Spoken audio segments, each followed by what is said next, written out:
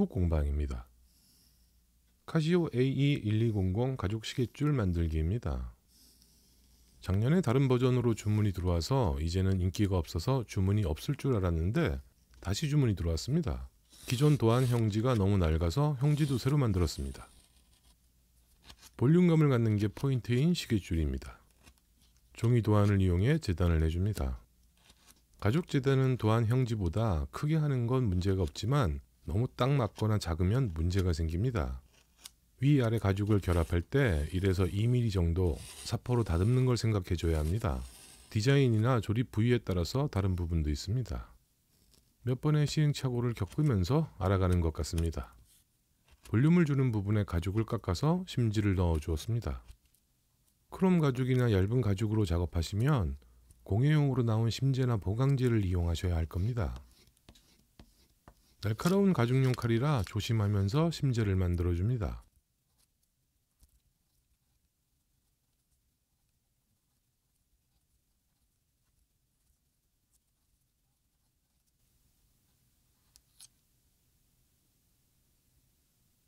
스프링 바가 들어가는 가죽이 접히는 부분도 깎아줍니다.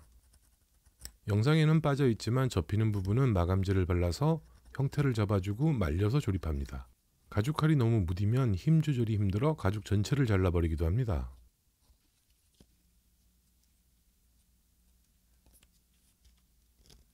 버클이 들어가는 부분 PR은 이 녀석이 편합니다.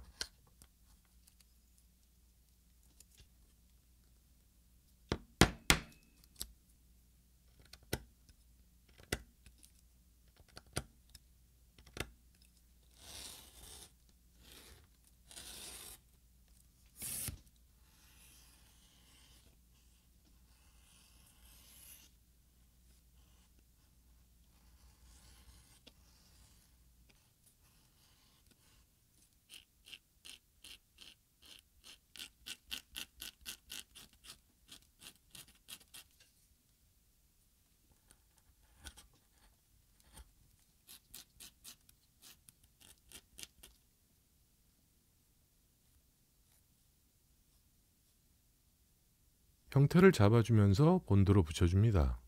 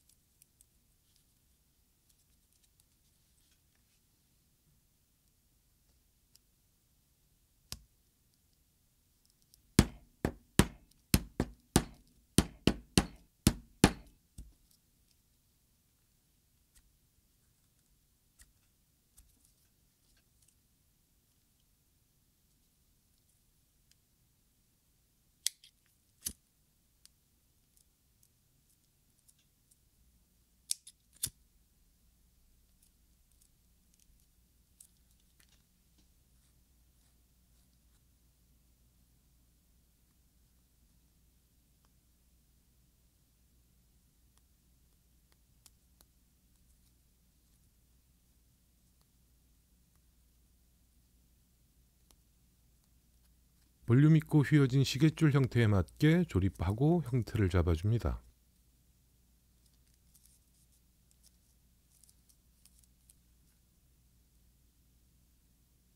집게가 잘 집히지도 않고 집게 자국이 남기도 해서 가죽을 덧대서 집게를 고정해 줍니다.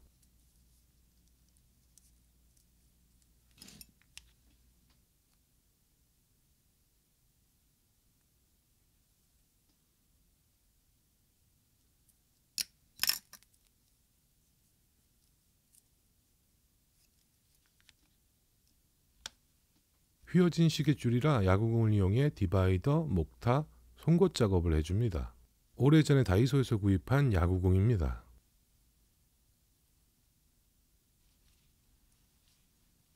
3mm 사선 목타입니다.